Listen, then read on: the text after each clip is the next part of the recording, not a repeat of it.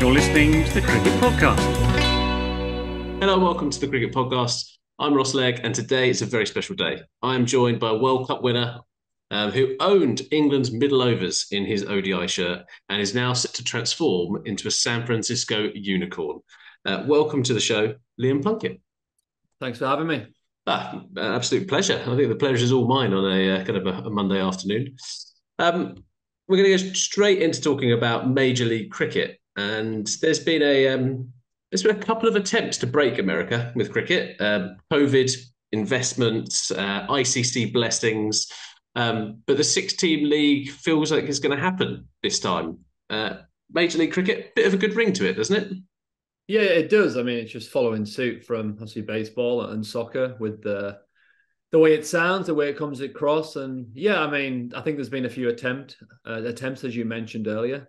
I don't know the full details of that. I mean, obviously it didn't work out, so it puts us in a better position. Mm-hmm. As you said, six teams, which is very exciting. Uh, it's only uh, four weeks away now, four and a half weeks away. Uh, we get to play in the the new stadium, also the uh, the stadium down in North Carolina, uh, that, that, Morrisville. That that also looks really good. We played minor league cricket there last year, the last few years, and they've added some uh, seating, some better facilities there. So we should have two really good grounds to play on, and that's what you want when international players come across. You want good grounds, good facilities, and you want a good product. Uh, you want many runs scored uh, for my sins. Uh, being a bowler, I'm I'm actually happy with that. If it grows the content and grows sport here, I'm happy to go the distance. Only if we win. Only if we win, though. Only if you win. Uh, super competitive still. Um, when it comes to those six teams, we've got what the you've got your guys, San Francisco Unicorns. We got Texas Super Kings, um, Seattle Orcas. I never thought a team name would be an Orca, but I don't mind it. Uh, Washington Freedom, uh, which yep. is very on brand, uh, and then my New York and LA Knight Riders. Yep. Um, I think well, more and more players are kind of being announced, and I mean it's fair to say it's, it's attracting well it's attracted the press I can imagine it wanted, um, but it's also asking some pretty big questions of cricket at the moment. So uh, your former teammate Jason Roy um, caused all kinds of uproar over here because people didn't really do their homework on what he was actually signing up for. Yeah. Um, but it's, it's, it's it's almost like the start of the domino effect, right? I think there's huge names. Um, it's only going to go from strength to strength. Is that how you feel about it? I think so, mate. It, it's I guess what my position is is in terms of obviously cricket in the UK. I want that to be strong. I want it to be the one of the strongest in the world, and obviously America alongside that. Mm-hmm. I want people to have an opportunity to come across here and play sport in America, to play cricket here. Even down the line, the connections you make. America is such a big place; it just opens up opportunities for cricketers. People like Jason Roy, who obviously I know very well, and as you said, he still wants to play for England, but there's a gap in the market, and he can pop across and play Mm-hmm. Why not? I mean, that's what it is. It's it's a bit like circus is the wrong word, but you're going to travel with teams, aren't you? You're going to sign for a franchise, and you're going to travel around the the world playing in these leagues. And the way that sports going, especially if you look at sports like golf and even boxing now, and head into different parts of the world and following the money. Cricket, you're not here for a long time, and I know from from me later on in your career, you pick up these injuries, so you're trying to make uh, money while you can. But mm-hmm. the opportunity to play cricket in America is obviously fascinating and an exciting time. As a kid growing up in England, the sports in America are so uh, the big thing, right? The way they do it. Mm-hmm. So hope that we can follow suit and we are a cricket, but with an American twist. Well, well you, you, mentioned kind of looking at from kind of being Englishman and then looking at the states. Everything's massive, right? Compared to us, like you mentioned the facilities at the stadium. Um, I think if there's going to be one market that's kind of built for trying to do cricket properly, it feels as if kind of the, the American market will be the one going, look, we've got big sports covered lads. I think we could do cricket. Yeah, I mean, also with the demographic here, you have a lot of people who who like cricket. Uh, there's pockets around here where there's a lot of cricket being played, mm-hmm. and if you starting to provide uh, high quality cricket with the best players in the world in a venue near where these pockets are, then you're going to fill out crowds and you're going to get traction. And our aim is, well, for my, my sort of view on it is you want to build this youth coming through. Major League is now going to have people looking at it and say, I can get to that point. I can play against the best players in the world. Potentially, I can go and play in a competition and score a quick hundred, which opens the doors for me everywhere else you want to you want a kid to come through academy. Say a kid who's at Philadelphia Academy, plays minor league, does well, goes to major league, scores a quick fifty or hundred, then the world's open to him. He has a stream where he can play professional cricket. The eyes are on him. He can make good money. right now, and obviously in America to a certain sort of degree, is you, you you've got the talent here, U11s, U13s, U15s, as good as anywhere in the world. Mm-hmm. But it's that drop off now is well, what do I do next? And then obviously you go, you probably go back into you in your education, you go to be a doctor or software or whatever you want to do.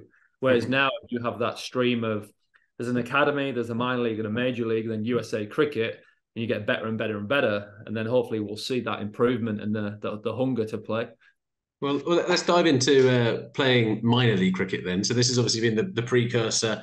Um, you play for the Philadelphians. Um, how have you found that, and how the how the crowd's been, and how accepting are people to come to the grounds and start to actually enjoy the sport? Yeah, I'm fortunate. Obviously, obviously Philadelphia, which is home now, we have a minor league team. Uh, got good guys who look after that, who own that team. Uh, they're very passionate the way they do it, and they'd see themselves. As like mini IPL owners, right? They've got the the proud of the like the franchise, the minor league team that they want to grow. So we we did really well. We held a Philadelphia Cricket Festival. I think we got nearly two thousand people in to watch that on a weekend. Mm-hmm. So it's good. It's got good traction. You just need to yeah keep building it, right? It, needs to. The minor league teams need to get good grounds down the line. Yeah. Uh, but maybe to take it a bit more serious. But the standard's very good. Um, I, I I was turning up and maybe didn't do my homework on other teams, but you you turn up and you'd have international players, ex-international players who have played against playing for England, West Indies guys, or guys who played Test cricket, one day cricket for Bangladesh or Pakistan. Mm-hmm. The standard's pretty good. It's just right now is, is that facility. If you're playing on uh, what artificials or concrete wickets and the townships don't allow you to cut the grass so short, so the outfields are pretty long. And but it's the cricket's good. It's just we'll get there with the infrastructure teams yeah. are taking that more serious now, and I think this year everyone has to play on hybrids, which is another step forward in, in the right direction. So we've got to say the facilities are going to be invested in, and I think that's that's kind of a big cornerstone in actually making what Major League Cricket is, is going to be about. Um, how else do you see kind of the US evolving? So we've got the the youth coming through, we've got the diaspora of kind of people who like cricket, kind of based around the, the states. Um, how quickly do you think it can evolve? Because I mean, look, look, where where the IPL started in 2008 to where, where it is now, it's a completely different beast. Where do we think kind of major league cricket's going to go over the next five to ten years? Uh, I'm not sure. Hopefully, we get this first one in the books and it's very successful. Yeah. Uh, it's going to be on some. I'm not sure if it's announced, but it's good. It's on on some good platforms for people to watch. I guess in terms of you're a successful businessman in America, like you might not know the history of cricket, and people might not invest until they see what happens in that first year. Mm-hmm. So after the first year, you'll probably see that actually the viewership's quite high, uh, and people might start investing, especially American companies who want to see it grow, which is sponsorships and all that kind of stuff. Mm-hmm. I just hopefully we we see it uh, keep evolving. More stadiums get built throughout the country. You get more major league teams involved hopefully the major league teams want to invest in the youth so we can have the the academies in minor league and major league potentially in under one sort of umbrella a bit like county cricket that's what if you can have that that's what going to be win-win right you have that stream as i spoke about earlier leading you all the way to play for usa cricket mm-hmm. we want all these all these franchises to buy in for that uh, grassroots grassroots cricket or that kind of approach to see youngsters coming through learning from mm-hmm. international players uh, and th- that's how England guys have got better as well. It was a huge uh, plus for when the guys were allowed to start playing in the IPL a lot more, the English guys, and you can see where that white ball team went and where yeah. they are, how good they are because they play against players in the IPL and know how to play spin and uh, a lot better than they used to. But yeah, hopefully we can get that infrastructure built and potentially can we get it in schools? Can we get it in kindergarten early? Can we even show them what a cricket bat and a ball looks like? And maybe have that in the curriculum down the line. That that'd be amazing to have that. Yeah, I love that idea. Uh, you mentioned there around the um, piece of getting to the USA team. Uh, there's going to be mixed reports around whether you're going to consider playing for the US, whether you're not going to play for the US. Is it? Unless, yeah, it's unless, it's a, unless it's a Masters team, then probably not. no, I mean for me that was never the. I was obviously came across to to play in Major League Cricket, and with COVID, things got slowed down a little bit. So obviously last year didn't happen. Mm. I also want to play maybe this year, next year. Uh, but obviously, in my back burner is I'm still developing and fin- just finished uh, like uni now. So the back end of that, doing uh, courses in strategic leadership and just doing that kind of stuff. Do I want to be involved in uh, the management side and help grow it? And that's probably my my aim.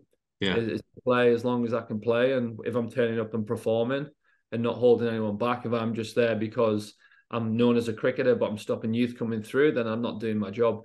Yeah. So and also in two years, if I did or when qualify for USA, if I'm still there playing, then we're not doing our job, making people better, I guess. So it's I don't want Yeah. to do that.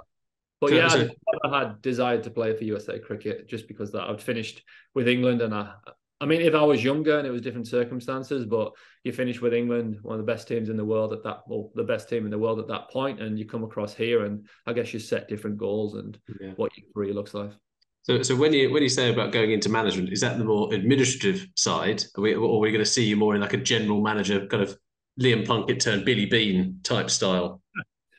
Brad Pitt, yeah. Uh, I mean, general, general, general managers, the term, isn't it? But that that'd be very appealing to me, and that's what I'm trying to do. Is a good thing about stepping away from people you know and county cricket and stuff. You can have that divide now. You're not just that player towards, uh, like the experienced player. You go away and learn about yourself, and you put the work in to to study, to learn, uh, to test how you do things, how how how what your leadership skills like, and you do that through many ways in terms of your coaching uh, academies here. Uh, I'm doing like a national development coach's role alongside Mhm. Rusty Theron. He's on the, the west coast. I'm on the east coast, looking after major league players. yeah, It's you, you, you generally do make a little mistakes, but you learn about yourself. And I'm not saying that job's here tomorrow. It could be in five, six, seven years, or it could be around the corner. But you prepare you. But I, I guess, as you said, that role of a general manager is very appealing. Yeah. I mean, that, that is kind of dream job for most kind of like Yeah. people who like sport, let alone people who've played sport and then go into something like that. Um, data analytics. Are you? Uh, would you be kind of a Moneyball type guy, or are you more kind of arm around the shoulder, gut feel? I think a bit of both, and hopefully you'd have people who are uh, more tuned up on that. Uh, And I'm, I'm, I went to uh, the the wash the nationals. I uh, I met a guy who was the head uh, physio there. We went in and, and met the uh, pitching coach and went through all that kind of stuff. yeah. And it, it was just after I'd watched Moneyball, so it was very fascinating how they went about that. But it's there now, and it's obviously working. So I would definitely get into that side of it. And it's something you have to learn, right? If that's if you're looking to be like a role like a general manager, you have to learn about all these different things, and maybe you have to educate yourself more, or put yourself through some more courses, or study a little bit more on that stuff. Yeah, I, I like how I've gone completely cliche when it comes to American sports and bringing up Moneyball immediately. Yeah, uh, in like. I'm with you, mate. It's still one of the best books, isn't it, in terms of sports management? It says that's one of the best books to read about because it's, it's such a great story, wasn't it? It was a great film to watch. Uh, I'm going to shift gears a little bit here um, because there's a pressing matter here. So uh, you'll be lining up alongside Aussie Supremos Aaron Finch and Marcus Stoinis. Um, that's a hell of a lot of biceps and broad shoulders for the fans to be enjoying, isn't it? For you three in a, in a side like that. Uh, sure he's classed as in that group. is definitely in. He rocks around and struts around. But I'm fortunate. I know these guys well. I've played with both of them. Finchy, I played with him at Yorkshire. Stoinis, I played with him at uh, uh, the Stars, Melbourne Stars. So it's that's the way franchise cricket is. You're generally playing in groups, and you know the guys pretty well. So I'm I'm, I'm pumped for these guys to come across. We just had a camp with the, the unicorns uh, last week in in San Fran uh, with the local guys who who live in, in America, uh, and hopefully we're going to meet up uh, probably the third, fourth of next uh, what during July, a week Yeah. before the camp, and the international boys are going to be there, and I'm, I'm hoping they're going to be excited for this opportunity. It's it's all new for them. Absolutely, and, and there's going to be a bit of overlap um, with the Ashes. Um, so I mean that dressing room should be pretty fun to be a part of. Um, and then from a USA point of view, um, Yeah. the domestic talent you've got with the with unicorns, is there some people who we definitely should be looking out for? Because I'm guessing the people listening to the podcast won't know too many USA uh, cricketers, so it'd be great if you've uh, got one or two to look out for. You have, I mean, a lot of the guys who who play have played first class cricket around the world. You got guys, uh, you got uh, a few guys who play like in South Africa, 50 first class games, and they are known. Uh, Mhm. and obviously, with the internationals playing in these franchises, you have six international players in each team. So if you look at ours, six, and if me and Corey play, you've got eight international players, and then the next you got fighting for the next guys coming through. Mhm. Uh, you have uh, Kami Leroux, who's played in South Africa, played in Joburg, uh, left arm fast bowler, kind of like in the Stark mold, tall, can be quick. Uh, Mhm. Hopefully, it's an opportunity for him. If, if people like him and Smit Patel play for India under 19s World Cup winner, under 19s World Cup winner.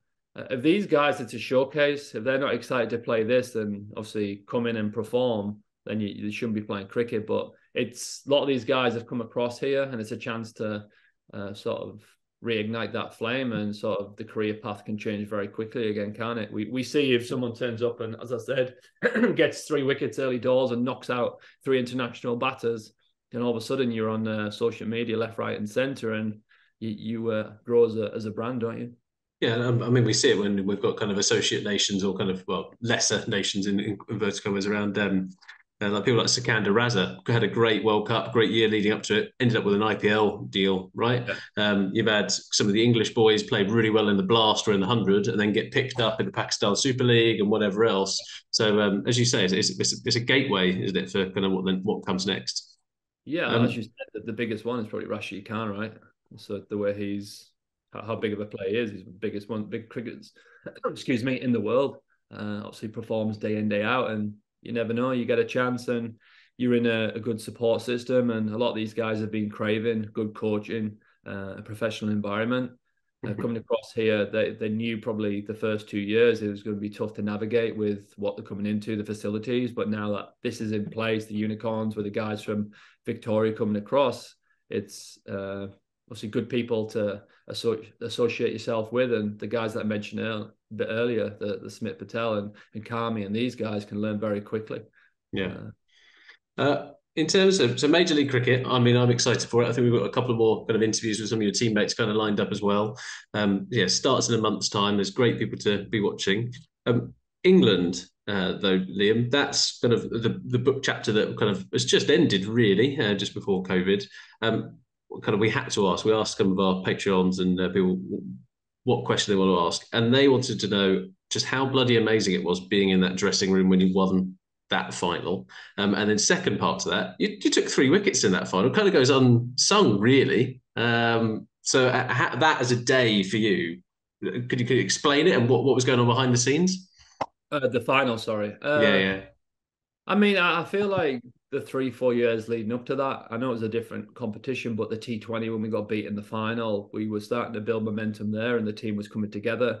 Mm. People went in and out a little bit, and there was one or two changes from T20 to, to ODI team, but excuse me, I've got a fly in my throat or something. That's uh, I think that whole thing was the best stage of my uh, career in terms of how Morgs led the team uh, obviously, he spoke to Brendon McCullum and seeing what he was doing, how passionate he was, and the way he was positive, and a bit like the Test cricket, how that's going now. And Morgs, obviously, spoke to him, had a good relationship with him. Also, his thoughts and his theories, and the way he wanted to go and lead the team with that vision.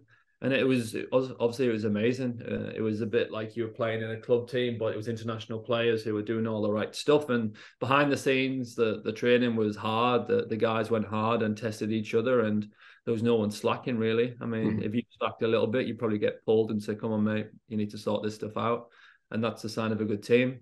Uh, even like when you arrange uh, team meals in the past, it, some people don't want to head down there, but we didn't even have to like schedule stuff. Someone said you want to go out for a bite to eat, and the next thing you have 16, 17 guys turning up for a bite to eat because it was that sort of closer bond.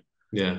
In terms of that day, it was just obviously uh, we felt like we were the best in the world, but it's knockout cricket. World Cup is knockout cricket. Uh, we had a few obviously bumps in the road. We got beat a couple of times, uh, two or three times in that World Cup, and then we got to that final. Obviously, rain delay, but I, I, don't know. I had something in the back of my mind. It wasn't. I'm not superstitious, but I felt like it was not not in terms of arrogant. I just felt like something the stars had aligned, and I felt yeah. like we that our day. Uh, but yeah, behind the scenes, it's same as normal. The guys prep. Uh, the is normally turned up a little bit earlier, uh, see the see the physios get taped up, do their priming, whatever the guys sometimes go to the gym before the game, uh, and then then you're into it. It's just soaking up that atmosphere, and sometimes it's hard because you want to win the game. You want to win the game instead of enjoying every single moment of that time. You're thinking about lifting the trophy. You know, mm. not when you sit down and watching and stuff, but you, you want to obviously take all that in and it's only sort of going back and watching that probably six months afterwards that you're oh I remember this I remember this little bit yeah. but it was same as normal the guys turned up and watch your process when I'm bowling you sort of after the initial stages of being nervous you sort of just get into your work mm-hmm. uh, and yeah and all of a sudden you'll go back and field wherever you field and you're like oh it's a World Cup final and you go back to work by bowling and Great, yeah, great day. And as I said, it's I watched it once, but it but it's nice. It's coming on what is it, four years now or something like Yeah. that? Four, yeah, it's, it's crazy how, how quick that's gone, yeah. Did, you didn't fancy the Super over? I probably didn't get. I know. I remember Morgs coming in. I'm like, well, I don't bowl at the death really anyway. So especially when you have Jofra and you have Woakes, he can bowl it nicely. Woody can bowl it nicely. As you mentioned earlier, I'd, I'd bowl in uh, middle overs a lot. I'm happy to bowl death or up top, but there's people who can do it a lot better than me. If you get that chance, if you, if you get that chance, is uh, you you would do it, but know your strengths, right? And I know my strengths. I know what they were, and it was bowling in the middle. So Yeah, we, we had uh, we've got a theory on the uh, podcast that uh, the Kiwis should have actually picked Colin de Grandhomme to actually bowl that super over. England couldn't hit him off the square. It was I think it was ten overs for twenty five runs, and you just like what was happening there. But it was obviously that rebuild period is just not as simple into that it, space. it was nip, honestly, it was nippling around. He he runs in and he hits it. Obviously, he nibbles it around and he's consistent and he he's a good bowler in them conditions. It Yeah. suited even in the middle overs for me. It was you didn't have to do too much different. You run up and try and hit your line of length, and the pitch was doing a little bit. So it was actually a perfect wicket for for him. Uh, it, it was a good wicket for me. Uh, so yeah, it wasn't you just try to run up and bowl consistent, and it was doing enough. Even with that little slope at Lords as well. So you had that uh, already built in uh, nip away or nip back in. Yeah, uh, it seems like a, a perfect way to finish your England career. Um, was did you want to do it more, or did you kind of think, "Do you know what, this is the time where this is this is the perfect way to go out? And it sort of, I didn't have time to think, and it was sort of took away. It was, it just went like that. And Mm. as I said, the guys were on tour and stuff. But I think I found out on social media, and then it was, it was, it was didn't get picked. Then I was like, all right, well, I don't then want to go back in to be a 12th man or 13th man if people Yeah. injured. Like we did winning that World Cup, then be touring and not was the issue. But it's it's a long time ago now. Uh, but yeah, it's you're right. I'm always watching or looking at the highlights, and I want obviously the guys to win trophies. The T20 Yeah. guys won a World Cup recently, so I'm obviously excited for them guys, and hopefully you have guys in that team who can win three, three or four World Cups. That'd be uh, obviously an amazing achievement.